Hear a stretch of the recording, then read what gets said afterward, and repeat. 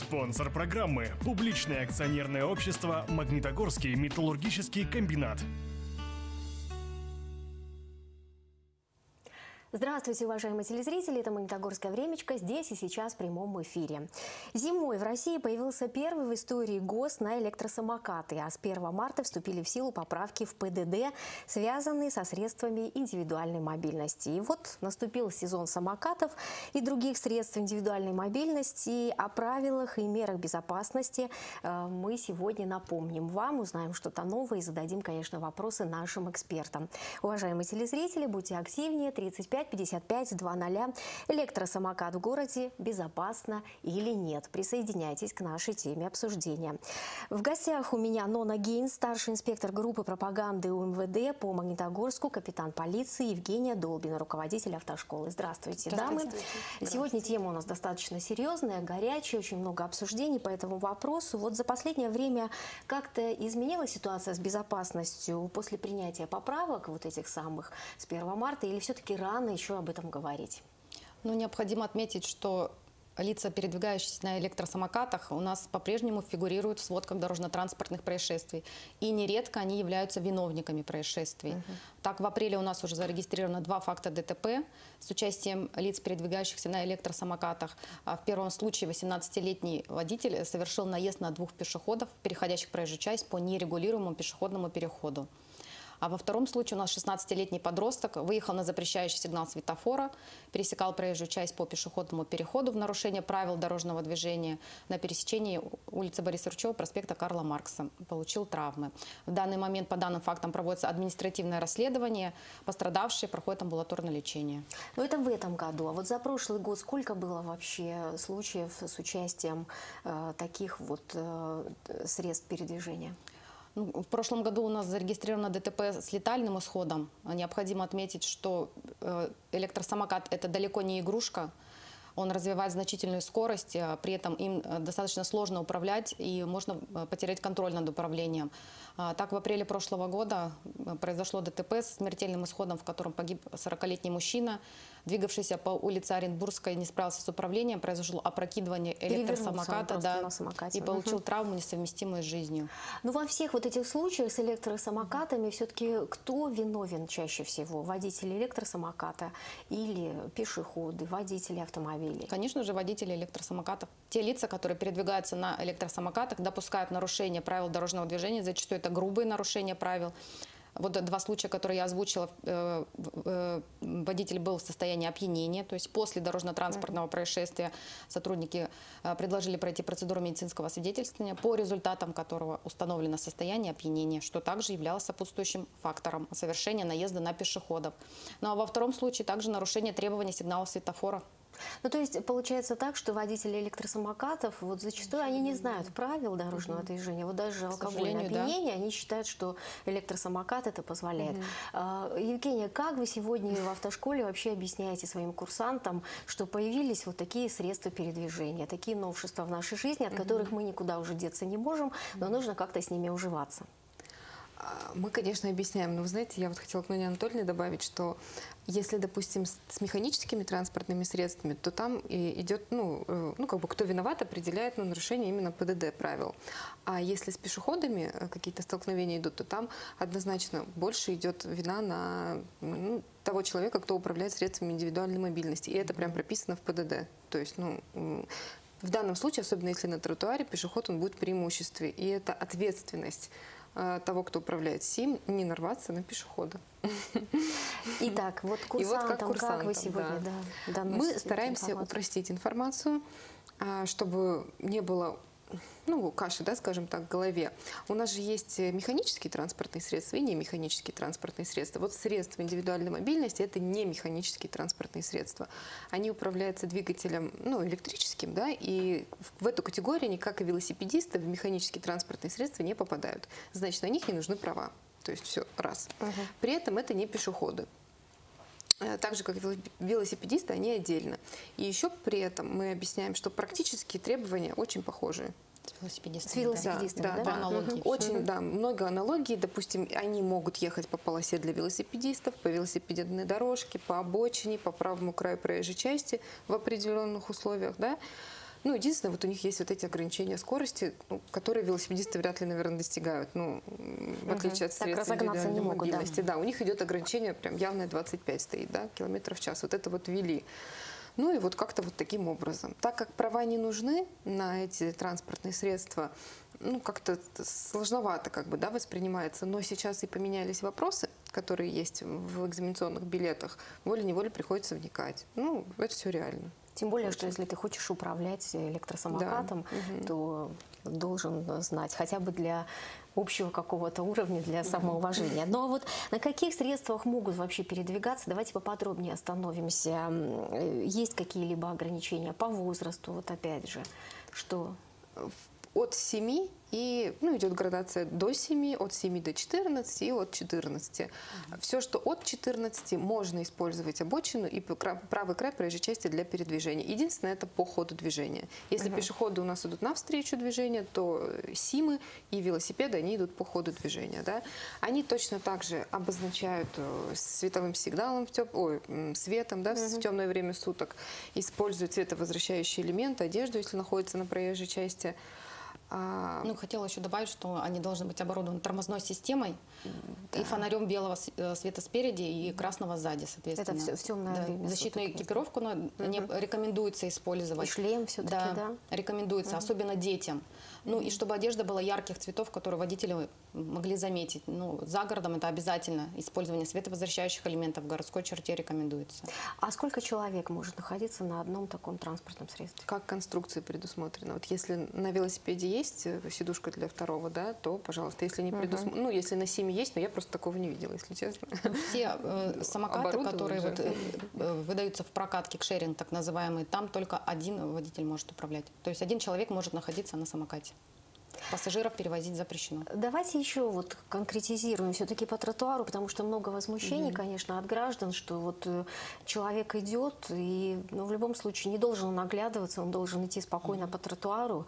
И вот э, какие правила передвижения именно на электросамокате э, по тротуару? Для них прям прописано, что они не должны создавать помехам пешеходам. То есть и это их, если совершен наезд, значит, это вина СИМа. То есть это вот, ну, основное единственное правило. Они не создают помехи, у них скорость до 25 км в час. И если есть возможность передвигаться по велопешеходной дорожке, велосипедной дорожке, то тогда тротуар не используем. Единственное, если он едет совместно с младшеньким, ну, допустим, до 7, от 7 до 14, то как сопровождение, да, уже как бы других вариантов нет. Ну, Можно по Вот как-то так, да. Ну, конечно, они все используют обочины, правую проезжей части, потому что это более мобильно По- И получить больше э, адреналина. 35 55 00, уважаемые телезрители, присоединяйтесь к нашей теме обсуждения. Электросамокат в городе безопасно или нет? Звоните. Прямо сейчас мы посмотрим опрос, который провели сегодня в городе. Ну а затем вернемся в студию прямого эфира. Звоните. Какое ваше отношение вообще к вот этим вот э, э, формам передвижения по городу? Ну, я считаю, что это все должно регулироваться. Все, кто пользуется самокатами, должны уважать пешеходов, должны как-то соблюдать скоростной режим и не мешать остальным, ни пожилым, де- ни, ни детям. Ну, друг друга должны уважать. А вас раздражают эти виды транспорта? Меня нет. Своему ребенку вот в будущем вы бы разрешили кататься на электросамокате? Ну, конечно, разрешил бы, если бы обучение прошло, какой-то инструктаж, да, чтобы правилами пользовалась, уважала также пешеходов и правила дорожного движения соблюдала. Ну а сами вот вы какие-то беседы уже, может быть, ведете или в будущем планируете вести с детьми, чтобы все-таки этот вид транспорта был для них безопасным? Но ребенок еще маленький, по- так только смотрит, как остальные люди катаются. Конечно, буду вести беседу о, о безопасности, а, ну, чтобы не было травм никаких, чтобы также она сама аккуратно пользовалась и а, не мешала никому. Как вы относитесь к электросамокатам на дорогах города? Ну, если соблюдают ПДД, то, конечно, Да, только при рациональном использовании. Если не сбивают никого, смотрят на правила. светофоры, сходят с него. А вот своим детям вы разрешили бы э, использовать этот вид транспорта? Ну, вполне в парке, почему Ну, нет? если, Да, как- когда будут дети, когда подрастут, тогда разрешим. А как вы считаете, нужно вот родителям проводить беседы с детьми, прежде чем их э, допустить к такому виду транспорта? Безусловно, да. Я тоже считаю, что обязательно нужно. И что это включает в себя? Вот что, на ваш взгляд, что самое главное донести до В ребенка? первую очередь это техника безопасности, потому что вот недавно наблюдали, э, ребята ездят втроем на одном самокате, то есть явное нарушение, как бы это явно небезопасно. Ну, конечно, главное проинструктировать, чтобы за людьми, ну, смотреть, где люди идут, там не ехать в толпу какую-то, не ехать там, где машина прям несется там вперед. Естественно, не разгоняться, просто в удовольствие кататься там, где Ну и свободная плюс дорожка. нужно, я думаю, элементарные правила ПДД э, при поведении на дорогах, потому что это запросто кто-то может выехать и нарушить движение. А сами вообще использовали этот вид транспорта? Нет, мы Нет, предпочитаем сами пешочком ходим, пешочком, гуляем, да. чтобы пообщаться. Вот ты управляешь электросамокатом, а ты знаком с правилами управления и перемещения по городу? Да. Ну, можешь перечислить какие-нибудь? Ой, я не люблю сниматься, если честно. А часто ли нарушаешь или вот э, только по парку По перемещаешься? парку. Да. Ну, где значки есть. Э, И там я перемещаюсь 15 километров в час. Как э, показано на инструкции телефона. Как вы относитесь э, к средствам индивидуальной мобильности на дорогах города? Хорошо отношусь. Раздражает вас это? Да нет, почему? Кому как удобно, тот так и передвигается. А сами пробовали? Нет, я сама не пробовала. Почему? Получится. А вот ребенок у вас, как вы ему в будущем разрешите на таком виде транспорта перемещаться по городу? Ну, С какими условиями? ну, если он будет соблюдать средства индивидуальной защиты, то почему бы нет? Там шлем, налокотники, наколенники. Ну вот сейчас он у вас тоже передвигается, вот хотя бы на детском, но вы что-то объясняете, говорите, и как... Конечно, конечно, что нужно быть осторожным, не торопиться, с горки быстро не ехать. Все это должно соблюдаться, безусловно. Я их не люблю. А почему? А потому что уже одного человека в Москве сбили. А вот у вас же тоже средства индивидуальной мобильности, и э, многие считают, что велосипеды тоже опасны, если неправильно управлять. Да, вообще-то все опасно в этой жизни. И жить вообще опасно. Ну а почему вот э, электросамокаты раздражают? Не, они меня не разрешают, просто я их не люблю. А вот вы передвигаетесь на велосипеде, вы соблюдаете все правила дорожного движения? Не все соблюдают правила дорожного движения.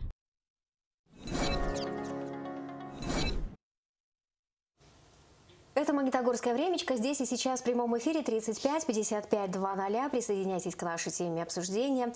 Электросамокат в городе безопасно или нет? А, Нона, хотелось бы услышать, а как вы сотрудничаете с кикшеринговыми компаниями? Ну, необходимо отметить, что в нашем городе сейчас э, тенденция к увеличению услуг по предоставлению проката электросамокатов. А Деятельность на территории города осуществляют две компании, а, с которыми а, мы сотрудничаем. Проведены уже рабочие встречи, проводится профилактическая работа, э, направленная на предотвращение фактов ДТП по вине э, лиц, передвигающихся на электросамокатах.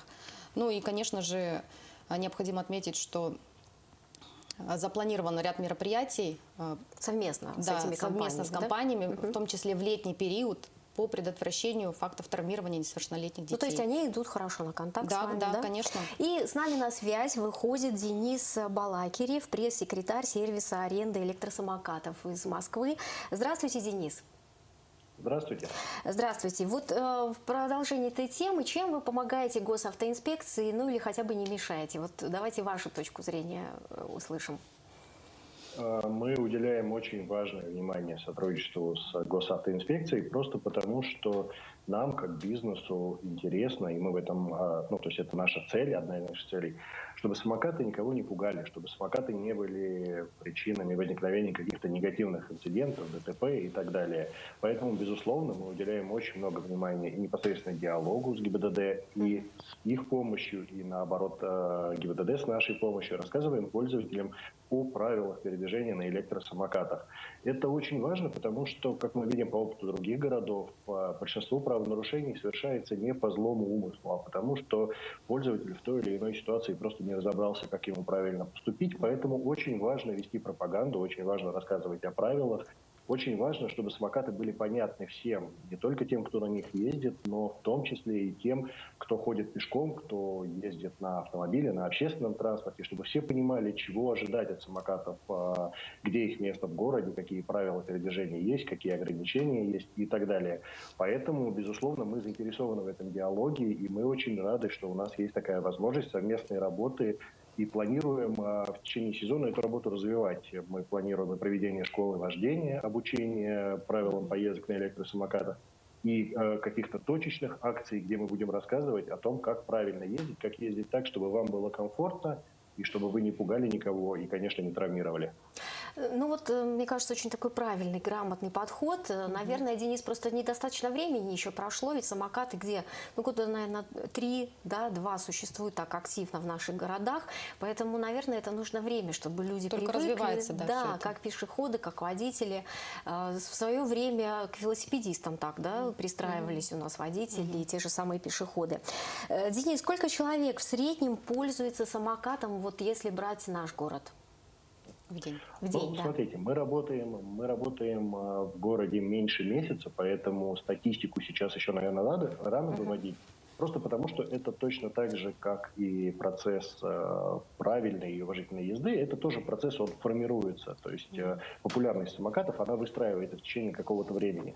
Но я могу сказать, что у нас в городе более 800 самокатов, и знаете, есть такое выражение, что ни один из них не вырастаивает. Вот uh-huh. Если говорить более конкретно, то прямо сейчас я вижу, что по городу едет более 100 самокатов, то есть более 100 горожан э, используют сейчас э, наши самокаты в качестве а, средства передвижения в качестве э, другого альтернативного вида транспорта. Ну и мы, проживая в этом городе, видим, что активно используется, конечно, очень это средство передвижения. С точки зрения безопасности, вот действительно ли есть эта проблема или ос, и остро ли она стоит сегодня? И, ну вот вы уже сказали, что вы делаете со своей стороны, но тем не менее, действительно ли вот э, так нужно обращать внимание на этот вопрос, или это все так постепенно войдет в нашу жизнь и, и привыкнем мы к этому? А, здесь я бы не стал э, разделять, знаете, потому что, безусловно, то, о чем мы говорим, это культура вождения, и она формируется постепенно. То есть, если правила появляются, подписываются и вводятся в течение там, конкретного времени, то культура вождения, она формируется. А по мере получения опыта а, появляется и уважительное отношение к другим участникам дорожного движения. Поэтому надо, конечно, ждать, но при этом мы тоже сидеть сложа руки неправильно, конечно. Поэтому мы, здесь я тоже хотел бы об этом упомянуть, не только говорим о пропаганде, скажем, о том, чтобы рассказывать о том, как правильно ездить на электросамокатах. Мы и наши электросамокаты учим э, соблюдать эти правила. То есть мы сейчас тестируем, скажем, технологию, которая запрещает, которая выявляет поездки вдвоем. А вот могу сказать, что многие почему-то воспринимают это как такую романтическую поездку. Встали вдвоем на самокат и поехали. Но на самом деле это совершенно не так. Это по нашей статистике одна из наиболее частых причин а, возникновения негативных инцидентов. Как минимум падение, как максимум ДТП.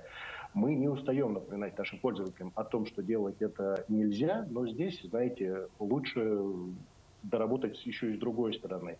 И вот сейчас мы тестируем технологию, которая позволит самокату понимать, что на нем едет два пользователя.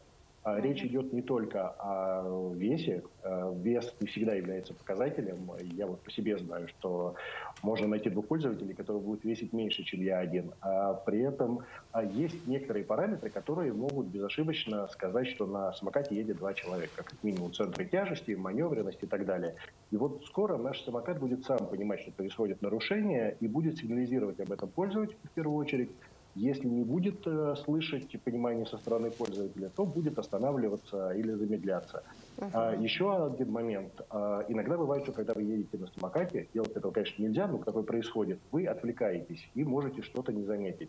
Вот опять же, в ближайшем будущем наши самокаты будут сами понимать, что перед ними возникает, возникает какое-то препятствие. Выехала машина, появился столб, пешеход вышел. Uh-huh. И даже если вы отвлеклись, чего, опять же, повторю, делать не стоит, а самокат сам увидит, что перед вами кто-то есть, и притормозит э, для того, чтобы предотвратить ДТП. Или, скажем, когда вы подходите к пешеходному переходу, это тоже очень важный нюанс, всегда надо спешиться, всегда надо пройти пешеходный переход пешком.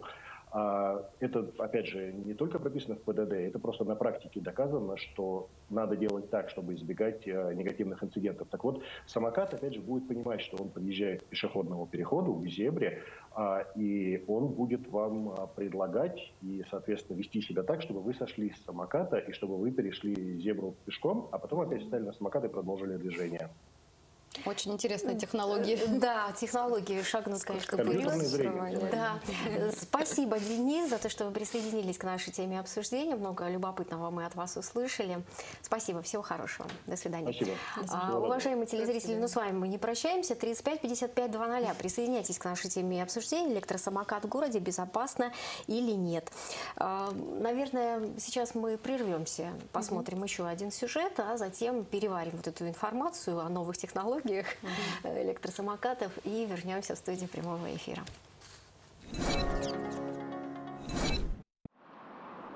Кирилл Баканов ездит на своем самокате уже не первый сезон. Говорит, добраться на нем может практически в любую точку города. К тому же такая поездка – одно удовольствие. С душной маршруткой не сравнить. Считает, главное – соблюдать правила и уважать остальных участников дорожного движения. Из-за компактности города Здесь на нем очень удобно. То есть, вот, например, отсюда до вокзала, ну сколько километров? 12. Хватит туда и обратно на нем доехать. При этом ты не тратишь э, каких-то сил, физических усилий не прилагаешь, чтобы доехать, например, до работы, чтобы не быть там взмокшим, потным. А скорость у меня небольшая, километров 18-20. А, это я еду по тротуару, по пешеходному, естественно. Это когда нет людей. Если появляется вдруг в зоне видимости человек, то, естественно, я сбавляю скорость, аккуратно между ним лавирую и проезжаю, и перехожу обратно на эту крейсерскую скорость. Но, к сожалению, не все самокатчики вежливы на дорогах. Между тем, в Магнитогорске число любителей прокатиться на электросамокате растет как на дрожжах. Еще бы, ведь двухколесный транспорт сегодня можно взять на прокат буквально на каждом углу, что уже приносит неудобства остальным горожанам. Многие жалуются, что самокаты выставляют, а потом бросают где попало. Ими перекрывают пешеходные дорожки, что порой мешает пройти. А главная культура вождения подобных средств индивидуальной мобильности в Магнитогорске оставляет желать желать лучшего. Сезон еще толком не успел начаться, как уже произошло ДТП с участием электросамоката. Около семейного парка на пешеходном переходе пьяный 17-летний самокатчик сбил мужчину и его дочь. Вот как недавно девочку здесь сшибли с мужчиной. Вы видели? Да, мы обратно шли, здесь скорая стояла, и это стояла машина скорой помощи, и, и ПДСники стояли, подходили, самокаты все смотрели. Самокаты вообще опасны на них это. Потому что с детьми здесь гуляют, и маленькие дети, и, и это пожилые люди все. И едут вообще не это, без разбору, летят как сумасшедшие. Причем на этих самокатах стоит ограничение по возрасту 18+. Но проверить, кто берет самокат, организация, которая их выдает, не может. Двухколесный транспорт арендуют через мобильное приложение. По сути, его может взять любой школьник, оплатить онлайн и поехать. Также невозможно проверить, трезв ли человек, который берет транспорт на прокат. Таким образом, ответственность за самокатчиков и других любителей средств индивидуальной мобильности легла на ГИБДД. Инспекторы обязаны проводить рейды, выяснять, определять возраст водителя, может ли он находиться на данной категории дорог, а также проводить с ними профилактическую разъяснительную работу. Сегодня прокатом самокатов в Магнитогорске занимаются две крупные московские компании, которые работают по всей стране. С представителем одной из компаний встретились инспекторы ГИБДД. Знаете, что поступают жалобы от граждан, поступают факты. А, сотрудники ГИБДД регистрируют даже дорожно-транспортные происшествия с участием лиц, которые передвигаются на электросамокатах. Они ну, сбивают пешеходов причиняют травмы. И у нас даже... Ну, здесь, смотрите, могу сразу сказать, что не только мы работаем да, в городе Магнитогорске, есть еще наши партнеры, скажем так, в компании. То есть, здесь... То есть здесь несколько организаций, да? Да, да. Вот, это первый момент. Второй момент, э, если есть прецеденты, мы, безусловно, готовы отреагировать на них. Сегодня, согласно законодательству, в правилах дорожного движения окончательно закрепили термин «средства индивидуальной мобильности». Так называется все то, что не давало покоя ни автомобилистам, ни пешеходам последние несколько лет. Это электросамокаты, сигвеи, гироскутеры, моноколесы и так далее. Прежде эти транспортные средства, собственно, транспортными средствами не считались и под нормы ПДД не попадали. Если по вине, скажем, самокатчика случался какой-то инцидент, непонятно даже было, как этого самокатчика классифицировать и как судить, как водителя или как пешехода. Новая редакция ПДД окончательно поставила в этом наболевшем вопросе точку. Прежде всего, до 25 км в час ограничивается предельная скорость. При этом компании, предоставляющие услуги по аренде электросамокатов, уже заявили, что это будет делаться либо на программном, либо вовсе на аппаратном уровне, чтобы у пользователя не осталось никакой возможности повлиять на настройки. Кроме того, новые правила предписывают, что на всех участках совместного движения пешеходы будут иметь приоритет. А значит, лихо проехаться по тротуару, распугивая народ, у самокатчиков уже не получится. В случае нарушения правил дорожного движения лицами, передвигающимися на электросамокатах и иных аналогичных транспортных средствах, предусмотрена административная ответственность, предусмотрен штраф в размере 800 рублей. Если это совершено в состоянии опьянения, то штраф до полутора тысяч рублей. Э, в случае причинения вреда здоровью пешеходам, лицами, передвигающимися на средствах индивидуальной мобильности, оформляется дорожно-транспортное происшествие и в дальнейшем по установлению степени тяжести вреда здоровью водитель данного транспортного средства привлекается к административной ответственности. Но, как выяснилось, фактом ДТП считаются далеко не все происшествия с участником средств индивидуальной мобильности. Например, если электросамокат налетел на пешехода в парке. Но, несмотря на то, что это произошло не на проезжей части, полицию также нужно вызвать. Сотрудники полиции опишут, составят протоколы, опишут все обстоятельства. И в дальнейшем э, сумма материального ущерба или морального вреда также можно будет требовать виновника этого происшествия, э, либо в добровольном порядке он оплатит, либо в судебном порядке э, требовать взыскания такого значит, ущерба или морального вреда.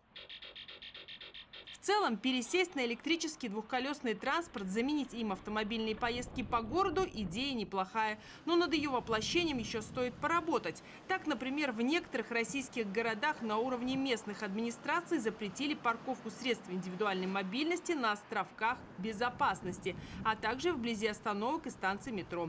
А в Петербурге скоро появятся так называемые мертвые зоны, где покатушки на средствах индивидуальной мобильности запретят в принципе. Не исключено, что уже в ближайшее время подобные меры необходимо будет принимать и властям Магнитогорска. Это Магнитогорская времечко. Здесь и сейчас в прямом эфире. Уважаемые телезрители, будьте активнее. 35 55 00. Мы выслушаем любую вашу точку зрения по поводу электросамокат в городе. Безопасно это или нет. Ну а мы продолжаем. Сейчас в сюжете мы увидели, что проводите вы активно всевозможные акции, раздаете памятки какие плоды приносит? Ну, я думаю, что приносит свои положительные плоды. Ну, Это работа. Конечно. Информируем в первую очередь да, о и... правилах передвижения. Очень много у нас информации размещено в нашей группе ВКонтакте «Сообщество школа дорожной безопасности» и видеоуроки и разъясняющие, что можно делать, чего нельзя делать, какие нарушения допускать нельзя и чем это чревато. Ну и, конечно, при встречах с аудиторией мы также эту информацию доводим, а, разъясняем э, правила безопасного передвижения. Основной акцент мы делаем, конечно же, на правила пересечения проезжей части по пешеходным переходам, и нам в этом активную помощь оказывают э, опытные преподаватели автошколы «Автолайф», которые э, проводят занятия в рамках проекта «В движении», проект «Безопасное будущее», квест дорожной безопасности, который уже реализован и более 10 10 тысяч детей прошли обучение на этой платформе.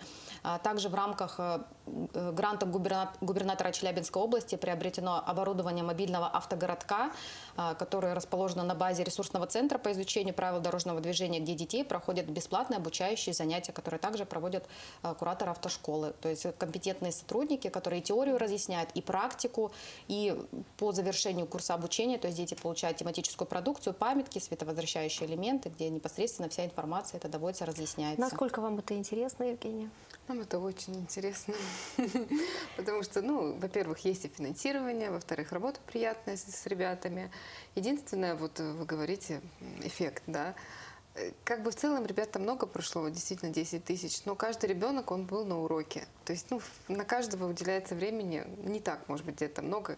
Хотелось бы больше, как-то масштабнее, да, но пока не получается, вот как можем. То есть один ребенок, вот, вот сколько мы три года уже работы ведем, да, допустим, ну, может быть, какие-то классы приходили повторно, какие-то нет. В принципе, для него это вот, ну, часть урока, да, допустим, 20 человек за 45 минут, это там 2-3 минуты на одного. Хотелось бы, конечно, больше. Ну вот мы все про ребятишек как-то, а взрослые, со взрослыми какие, какая проводится работа? Если они к нам попадают на наши занятия, они так же, как и ребята, могут попробовать, потому что это и родители, и представители э, со школ, которые приходят, они это экспериментируют на себе, там, кто что может. А, ну, ну и вот эти наши разъяснения в автошколе в, в рамках э, учебных занятий на теории. Вот именно от нас вот такого плана идет работа. Вот мы говорим сегодня про средства индивидуальной мобильности. Еще Мгм. хотели затронуть скутер, да, что скутер тоже это не игрушка для ребенка, как многие родители считают и делают подарки такие детям. А Вот про это средство передвижения. Ну, разрешите, я начну, потому что эта тема для нас достаточно болезненная. А, В августе 2021 года зарегистрировано дорожно-транспортное происшествие в районе улицы Панькова. В результате столкновения скутера и автомобиля ранения достаточно серьезной степени тяжести получили две девочки в возрасте 14 лет. Одна из них, которая была водителем скутера, а вторая пассажиром. Очень длительный период реабилитации дети проходили.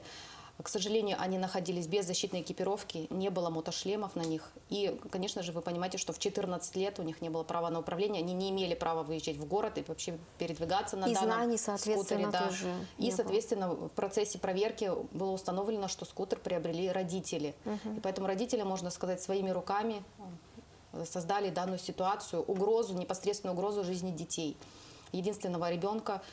И э, в дальнейшем также нами было установлено, что, как и все дети, то есть э, в подростковом возрасте начинают э, родители э, Просить, да, да, о такой различными игрушке. способами уговаривать, э, приобрести им различные средства передвижения, начиная с электросамокатов и в дальнейшем уже это скутеры, маломощные мотоциклы и тому подобное, на которые необходима уже соответствующая категория водительского удостоверения.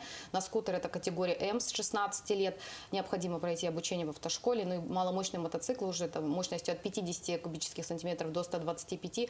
а, Соответственно, категория А1 и более мощные категория А2. Ну, соответственно, здесь у детей не, не было данных навыков, и хотя и виновности в ДТП не было, но передвижение по городским улицам запрещено. И, конечно же, мы призываем всех родителей не идти на поводу у детей, понимать, что на кону стоит их жизнь и не приобретать э, такие средства передвижения. К сожалению, сигналы поступают уже о том, что некоторые молодые люди 10-11 класс уже приобретают и автомобили, и Мгм. передвигаются на них. Соответственно, а, нас информирует администрация школы, туда направляются экипажи ГИБДД и... э, Без прав. Есть э. Соответственно, Мгм. выявляют подобные факты, пресекают их. Но нужно начинать все-таки с того момента, за какие средства был приобретен этот автомобиль или скутер, или мотоцикл, и почему родители допустили такую халатность по отношению к своим детям. Ну вот мы все как-то негативно, бо- более негативно. Более такой. Ну серьезные да, такие вопросы. Но все-таки плюсы. Какие плюсы электросамокатов и средств индивидуальной мобильности? Конечно же, это мобильность. Нет пробок. Можно быстро Нет доехать, Можно да? быстро доехать. Когда люди стоят в пробке. Да, у них единственное, конечно, есть ограничения. На больших перекрестках они не могут поворачивать налево. На перекрестках, где там четыре Мгм. полосы, они скованы. в Я вас перебью. Евгения. Давайте Мгм. послушаем телезрителя, Да. пока он не сорвался. Да. Алло, здравствуйте. Здравствуйте, мои дорогие. Здравствуйте. Мои, я считаю, конечно же, это очень опасные электросамокаты. У нас даже ребенок, ребенок, э, далеко от мамы отъехал, а за ними машина ехала. Мама не уследила, правда, она бежала. Опасно это все. Ну, это опасно тоже, как м, точка зрения здесь э, расходится, потому что все, в принципе, опасно в нашей жизни. И на велосипеде, и на автомобиле. Игорь, спасибо вам за... Да, но э, мы про то и говорим, что нужно быть бдительными, нужно быть внимательными, нужно обучаться, да, контролировать, Детей да, особенно э, контролировать детей. И родителям, конечно, нужно включаться, а не пускать все это на самотек. Э, Спасибо вам, Евгения, что вы присоединились к нам нашей Спасибо, этой серьезной теме. Сегодня мы говорили, говорим о том, что электросамокат в городе безопасно это или нет. 35 55 00. У вас еще есть возможность дозвониться до нас. Мы сейчас уходим на рекламную паузу, а затем вернемся в студию прямого эфира.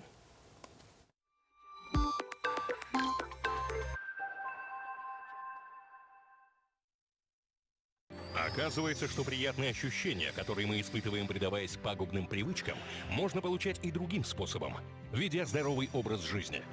Человек радуется жизни и получает удовольствие, когда у него отсутствует усталость, тяжесть от переедания, если у него нормальный сон, приятный цвет лица и легкость в теле от хорошей физической формы. Однако у каждого человека могут быть свои потенциальные или уже существующие проблемы со здоровьем. Кому-то достаточно ограничить себя в еде и увеличить физическую нагрузку, а кому-то показана специальная диета и особенные упражнения. Как научиться получать здоровое удовольствие и как определить свои риски? Для этого следует обратиться в Центр здоровья, в котором можно пройти осмотр и получить необходимые рекомендации по здоровому образу жизни. Или в поликлинику, где один раз в три года можно пройти полноценную диспансеризацию. Диспансеризация представляет собой ряд скринингов по заболеваниям различной направленности – сердечно-сосудистым, онкологическим, сахарному диабету и другим. Она позволяет рассчитать ваш индивидуальный сердечно-сосудистый риск, а также другие риски на ближайшие 10 лет. Если выявлено заболевание или склонность к нему, пациент берется под контроль участковым терапевтом, который помогает ему минимизировать риски и взять заболевание под контроль. Каждый россиянин имеет право обращаться за консультацией относительно своего здоровья и регулярно проходить диспансеризацию. Особо следует отметить, что государство предоставляет ему все это бесплатно. Для этих целей в стране существует около 800 центров здоровья и 3700 отделений и кабинетов медицинской профилактики в поликлиниках.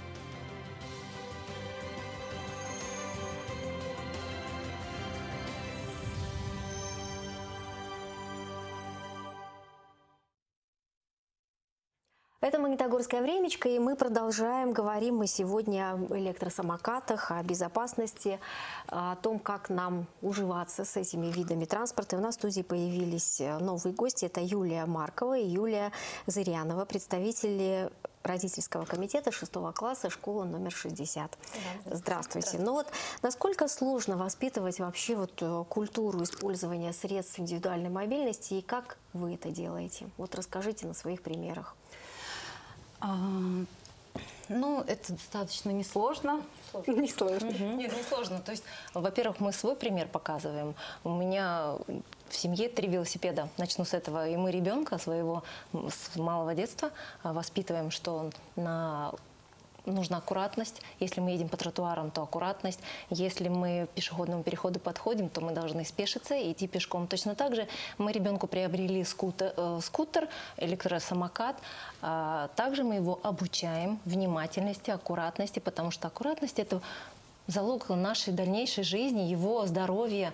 Ну, то есть, э, действительно, ребенка невозможно оберегать все время Нет, и вот да. э, в закрытом пространстве его... Нужно, конечно, да, приобщать все-таки.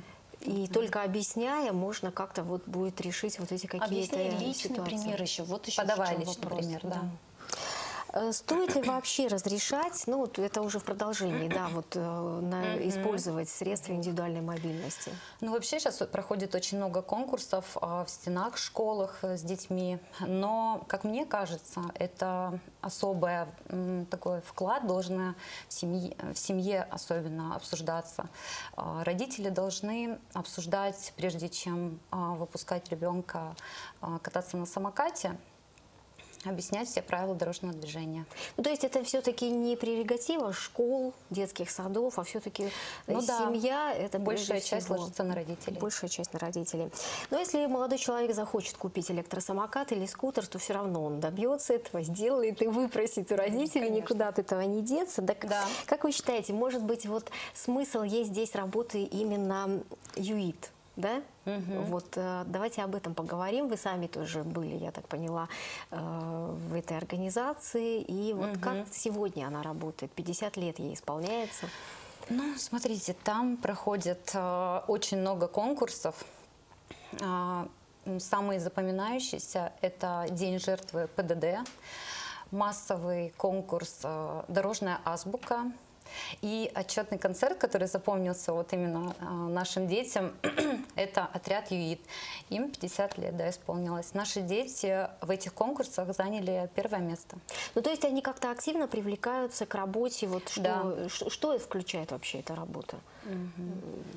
Ребята и родители, они в Ребята, связке работают, нас, да? Да, в связке, мы в связке работаем. Вообще у нас ребята активные и откликаются сразу. То есть мы предлагаем, давайте, ребят, а, мы проведем, то есть э, мы рассказываем, давайте ролик снимем, еще что-то. Они участвуют для того, чтобы научить а, своих ребят, своих сверстников. То есть мы выходим, съемки. Всё это наглядно Все это вас, да? наглядно. Они сами это проходят. И что самое интересное, они также своих сверстников могут еще научить, обучить. А на конкурсах они также показывают, то есть там же очень много ребят со всех разных школ. Мы не одна школа, 60 участвуем в этом. И то есть, естественно, каждый ребенок смотрит, запоминает визуализирует, и все. То есть это вот это хорошая работа проводится у нас в школах сейчас. Это спасибо большое. Да, конечно. и дети участвуют в добавить, что это все организовано на базе ресурсного центра по изучению правил дорожного движения, на базе которого проводится в год более 16 городских мероприятий, и ребята из 60-й школы активные наши помощники. И вот э, мы снимали видеоролик, э, необходимо вот отметить практическую пользу э, видео э, материалов, которые готовят дети. То есть этот ролик остается в школе, и он транслируется, размещается в родительских чатах. То есть дети его просматривают, обучаясь сами, обучают других. И в дальнейшем это используется при проведении классных часов. То есть там на практике показывается, как управлять средствами индивидуальной мобильности, электросамокатами, гироскутерами, как правильно безопасно передвигаться на велосипедах, как, э, для чего нужны световозвращатели. Активно участвовали у нас а, в областном тестировании по изучению правил дорожного движения. То есть наши активные помощники ребята и непосредственно родители. И родители сами также еще дежурят на пешеходном переходе. Необходимо об этом да, рассказать. вот вы принимаете в этом участие, да, на Принимаем, пешеход. Ну вот расскажите, что там чаще всего, э, какие, может быть, бывают у вас э, вопросы вам задают или какие-то ситуации будут такие? Но в основном а, очень люди даже со стороны обращают внимание, на самом деле говорят, как же это здорово, когда родители принимают участие. И вообще, когда проводятся такие вот акции, это очень положительно сказывается на детях. Ну, они, во-первых, себя чувствуют еще и защищенными, что Да. они вот не одни, что э, есть плечо родителя, взрослого человека. Ну да. А Что в будущем? Вот что у вас планируется? Вот, может быть, какие-то акции еще, ну, в частности, в вашей школе? Что вот такого интересного, Ну, может быть, в перспективе? Вперед, э, нам бы, конечно, хотелось бы в дальнейшем участвовать э, в мероприятиях городских. Вот, но сейчас пока загадывать не будем, как у нас пойдет. Но очень бы хотелось э, нам дальше продолжать. Потому что э, высокий уровень, действительно, и вот вы правильно отметили, что э, э, педагоги других школ и ребята, э, э, э, когда выступают э, на сцене, ребята демонстрируют свои знания, какие-то заготовки, которые они готовят, домашние задания, то есть они учатся друг у друга, и, конечно, уровень мероприятия от- э, из года в год растет Да. значительно. Ну, сейчас э, в продолжении нашего эфира я бы хотела затронуть вот еще какую тему. Скоро у нас длинные майские праздники. И готовится, конечно, усиленно к этому мероприятию еще и госавтоинспекция. Вот какие будут проводиться мероприятия, ну и в частности, может быть, и вот и со школами, и с родителями, активистами, и как вообще будет, э, как мы будем себя ощущать безопасными в это время.